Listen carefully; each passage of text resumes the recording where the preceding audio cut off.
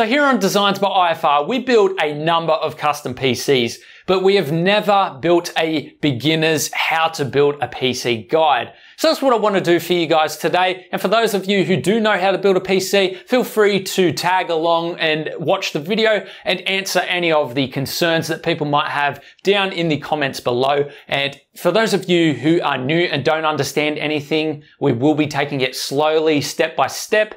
If you have any questions, please leave them down below. I'm sure you guys will get the replies. Here's what the finished product looks like.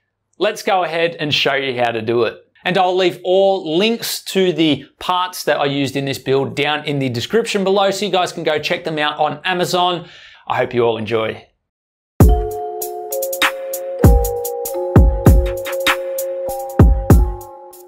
So when building a gaming PC, some handy tools to have would be a pair of scissors, scissors to open boxes, to cut zip ties when you're doing your cable management at the back, and so on. And of course, a screwdriver. Pretty much every single thing needs to be screwed into the PC, so very handy to have a screwdriver. Some do require some Allen keys, however, this particular case does not. So if you do have some Allen keys on hand as well, that could be helpful depending on the type of components that you are working with. Step one is case prep. Take the back panel and the front panel off like you guys can see here, I've already done that. And just sit those to the side. You don't want to get those scratched or anything. We won't need to see them until the end. Also makes it easier for installing stuff if we've got nothing in the way. Number two, inside the case should be a little accessories box, just like this one, containing various screws that we will need throughout the PC build to install the motherboard, the power supply, things like that. Keep this very handy. We'll just sit this to the side right now because we will be using it very shortly. So to start things off, we will prep the motherboard. The motherboard will be installed first, followed by the power supply. So what we need to do is we need to install the CPU into the motherboard and of course put our RAM in.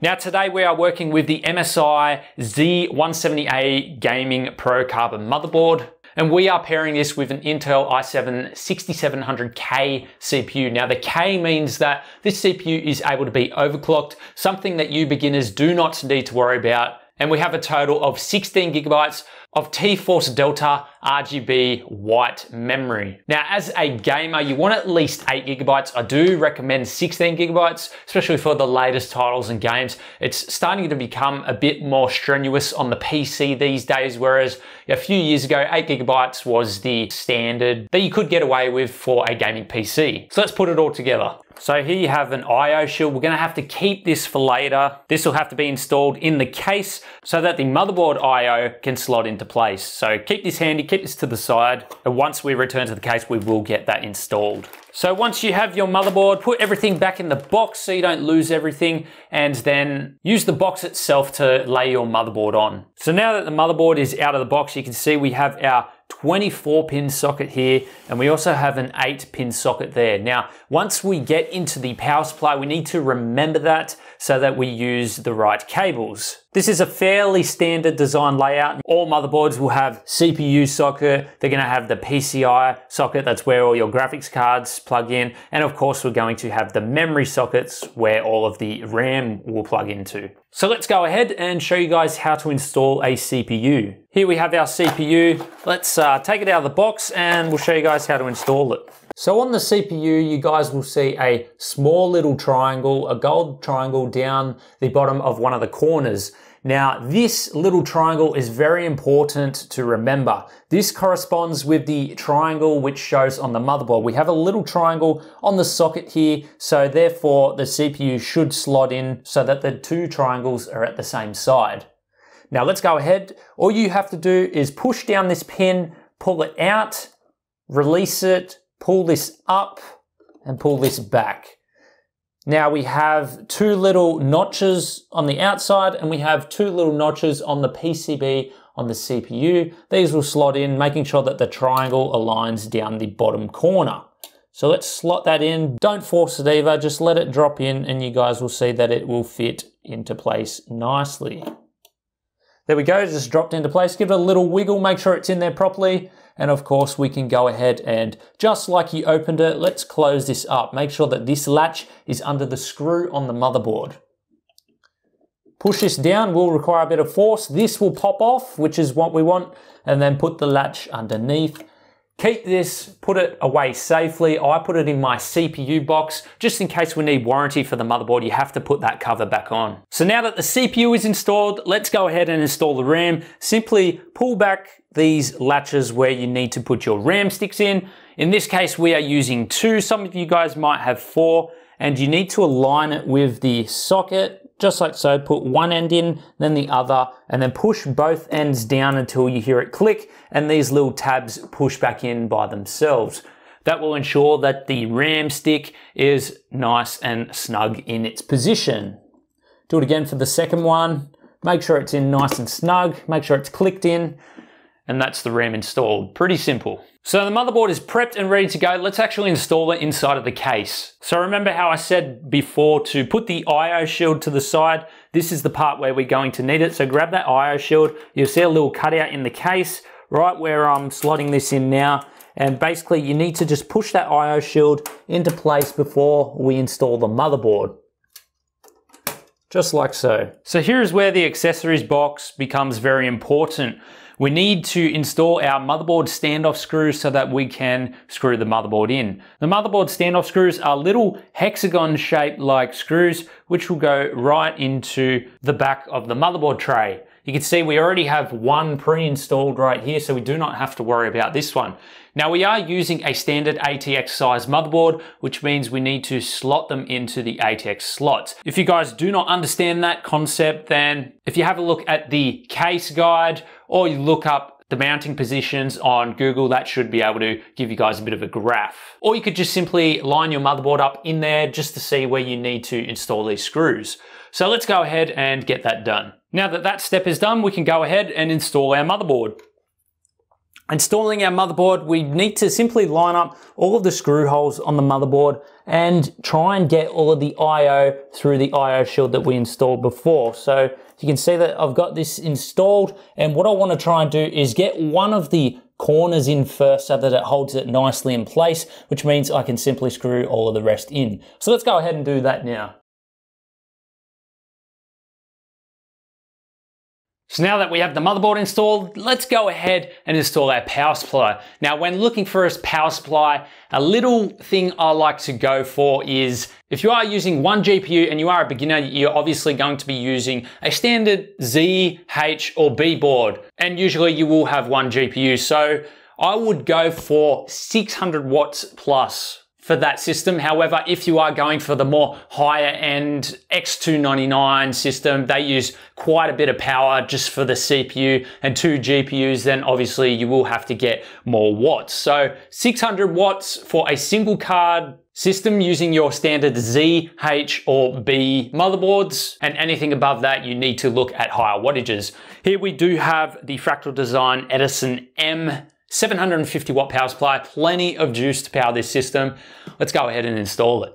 So this particular power supply is a semi-modular power supply. What that means is it already comes with the 24 pin and the necessary cables already pre-installed. And then you have some sections here where you can put only the cables in that you need. Now this does reduce cable management. Uh, you don't have to use all of the cables. Therefore you're leaving a lot of room free for cable management. Here we have the bag, which also comes with the power supply. This is all the cables there. So you might only need one SATA cable, one Molex cable, and things like that just to power the accessories. In the box as well, we do have four screws. This will be for screwing the power supply into the case. So keep this handy because you will be needing these. So we've got our scissors. Uh, we're going to just remove this uh, big zip tie on here because we will be needing to use these cables here. Remove that. Uh, the other zip tie can stay in place. So what we're going to do first is we're going to undo this little grill right here and then we will install that on the power supply and put the power supply inside of the case. Now, if you guys remember at the start of the video, I mentioned the 24 pin and the 8 pin which was on the motherboard. So we already have the 24 pin installed and we already have the 8 pin installed as well. So we're good to go there. And of course, this one is for our graphics card. So we are good to go there. If you did want a second graphics card in there, then you would have to install more cables. So grab the little bracket that you took off the case and let's join this onto the power supply first before we actually put it in. So let's go ahead, thread these cables in first, bring them out to the back end of the case. Then of course we can slide the power supply in.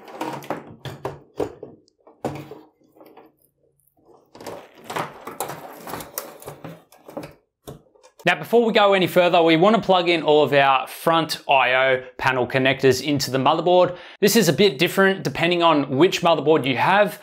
In your motherboard box, you will find a little book, which will show you guys where to plug it all in. In this case, here's the page right here, and we just have to follow this diagram to make sure that the connectors are plugged in the right way. So let's go ahead and do that. So now that our audio is installed, in order for our USB ports to work at the front, we need to install our USB cable. So let's bring that through the grommet here and then we will install it like so into this slot. Now I do like how with this case they've actually put the grommets on the side a bit so that it sticks through like so and we don't have to see much of the cable. Really nice clean design on Fractal Design's part there. So once that's installed, our front USB should all work. We've got our power button and reset button. They should all be working now. And of course, our audio jacks. Now, the reason we did this now is because once we install the graphics card, we're going to have the graphics card in the way once we're trying to install all of these cables. So it's good that we do it now instead of later. And there's a reason why I'm doing everything in the order that I am, guys. Okay, let's move on to our fans. Firstly, we have to take the front panel off. As you can see, I simply pulled out the top and then you work your way down, pull out the bottom as well. You may need a bit of force for this and then pull it out like so. We also have a removable dust filter, which is good for keeping the dust out of the system. Simply push that back in place and we have access to the fan mounting position. So let's get our fans installed. So firstly, we're just going to remove the pre-existing fans because we want to install our own fans into the build. It's just simply four screws to remove it. So now that we remove that front fan, we can go ahead and install two of our Fractal Design fans on the front here. These are both 120 millimeter versions. Now, when installing fans, you need to think about airflow and case flow. You can install them one way and have the air pushing in and through the case, or you can install them the other way to exhaust air out of the case. Normally in the front, you want air coming in so that it blows across the motherboard. Now what that means is a general rule is to keep the logo on the back which means you will be bringing air in to the case. So now that we have everything in place, let's go ahead and install our SATA cable, which you can find in your motherboard box. Uh, there should be like two or three, maybe even four in there. Uh, choose one of them and let's go ahead and install that before we put the graphics card in. So all you need to do is simply put one end through the grommet and pull that through and the other end will plug into the motherboard slot that you can see down the bottom here. These are for connecting the motherboard to the SSD. So that plugs in just like so, and that's all we have to do for now. For a gaming PC, the bulk of your money you need to put towards the graphics card. This is what powers all of those gaming pixels, makes the screen look really nice and crisp, gives you that high refresh rate, FPS, in the games to accommodate your monitor. So here we have a 1070 Ti which will slot in nicely into this system. But of course you don't want to pair it with bad components either. So of course we do have a good CPU and a good motherboard to match. Now if you were to pair this particular card with a really old CPU, or a really old motherboard, that could withhold its full potential in performance. So it's definitely recommend putting the bulk of your money towards a graphics card for a gaming PC. However, do not cheap out on all of the other components as well. Let's get this graphics card installed. So you want to start by removing the second expansion slot screw right here. And because this is a two slot card, we will remove the next one as well, right underneath it.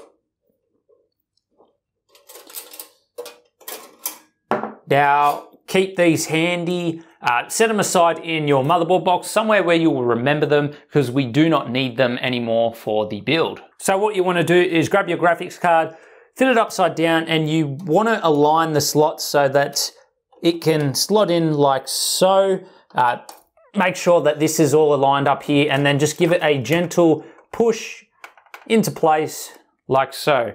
Now using the screws that you actually took out, let's screw this graphics card back in to keep it in place and stop it from shaking around. Now with a cooler like this, you want to try and figure out the particular style and look that you're going for. Which way do you want the tubes to go in the build? You can have them coming from the back of the case We can have them coming from the front of the case. So let's go ahead and install the fans and we will see what particular way we want to mount this into the system. So I think because we already have the white RAM in the build and of course the silver graphics card, let's go ahead and use the provided fans because they are white. So we'll have a bit of black in there, a bit of white and uh, let's go ahead and install install them on the radiator. Now, we're going to be sitting the radiator at the top of the case to exhaust the hot air out and out of the top. So we need to orientate these fans in a way to be able to take them out. Now remember how I said that the side with the sticker is bringing the air through like this. So when this fan is spinning, the front is pushing air through. So we want air going through the radiator and out the top.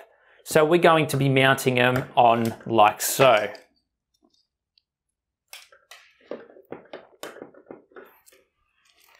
So you have screws included in the kit.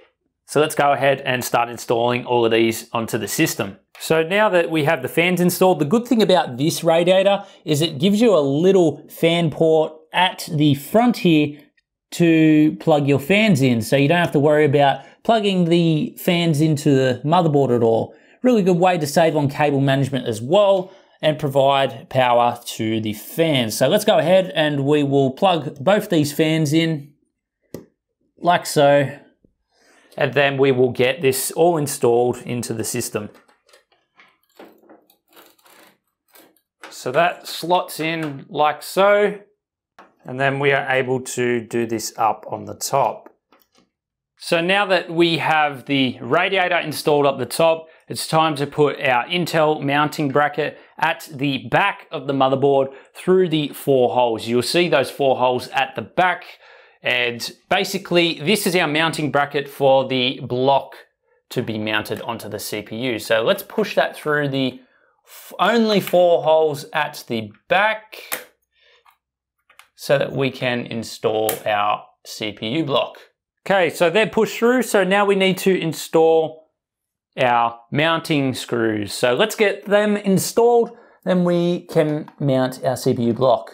So to save myself a little time, I'm actually gonna go ahead and install the pump power now so that nothing is getting in my way. So I'll slot that into the four pin CPU fan slot up here and that will provide the pump with power. So it's slotted in now and we can remove this little plate right here. This has pre-applied thermal paste so you don't have to worry about getting your own. Let's get this all installed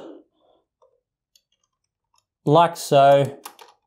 Insert it over all four screws and then basically we just have to screw it down in place. Don't do the screws all the way up to begin with. Um, you want to try and keep a nice uniform motion while you are screwing this in place to make sure that any spread of thermal paste is spread evenly. Lucky for us, this is all pre-applied and already spread pretty good. So all four sides are in, let's just tighten them all up now with the screwdriver.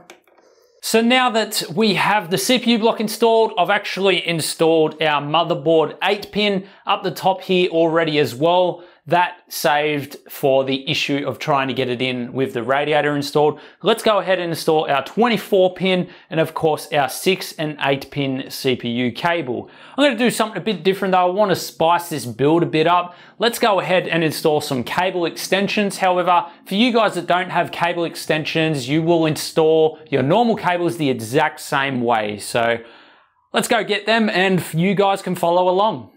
So you guys can see right here that the GPU has an 8 and a 6 pin power input. This is what this particular cable right here is for. Now, you guys will see this coming out of your power supply and you would plug it into there. You'd bring it through the cable grommet down underneath and then bring it up. If you guys have cable extensions, you leave this cable at the back you grab your cable extensions, you will stick them through the grommet and then into the GPU itself. So let's go ahead and let's do that. Now, while we are at this point, let's actually go ahead, grab one of our hard drive tray cages out, and let's get our SSD installed. So if your SSD doesn't come with little screws to install it, normally the accessories box that you get out of the case normally has screws in it for your SSD. So you can see we've got four screws. We know that the cage actually inserts like this. So we want the side with all the ports on it to be facing the back like so.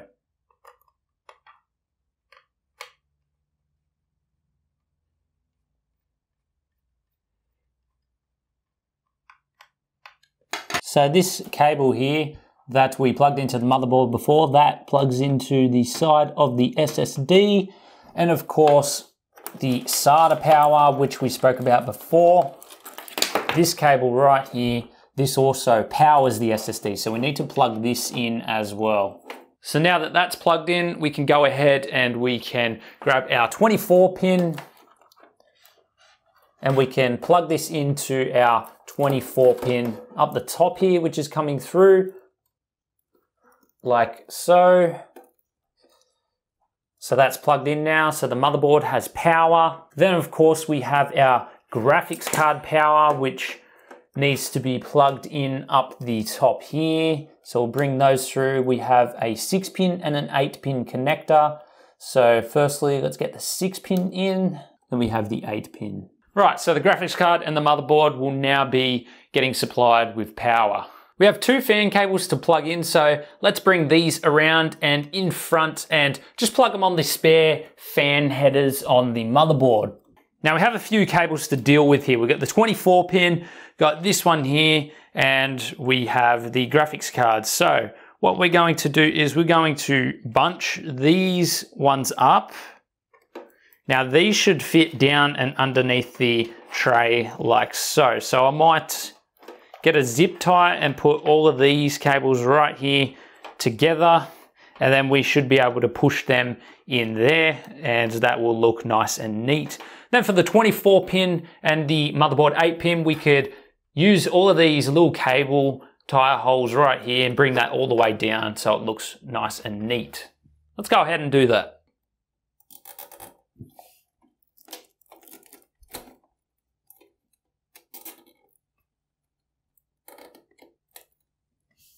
So we have the 24 pin in place as well.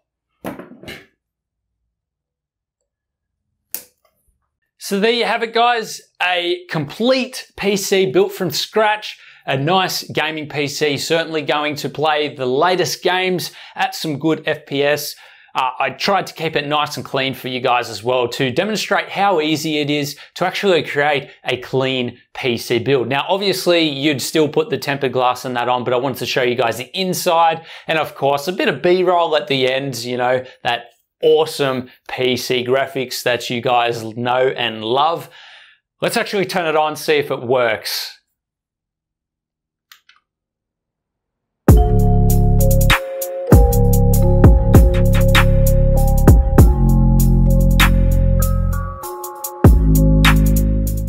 So there you have it guys. I hope you all enjoyed this little guide. Hopefully it helps some of you to create your own personal PC. It's very simple in the end as long as you follow the instructions step by step. Uh, it's basically like an advanced Lego, but once you get used to it, it is really simple. So I hope that I addressed some concerns that any of you might have with building a PC. And if this was helpful, please give me a like. Let me know down in the comments. And of course, if you guys do have experience with building PCs, please help out the guys in the comments as well who need to know extra questions. I'll be there as well, so leave your comments down below if you do have any concerns that you are worried about when building a PC. Like and subscribe, guys. We've got plenty of videos like this on the channel and check out all the custom PCs as well.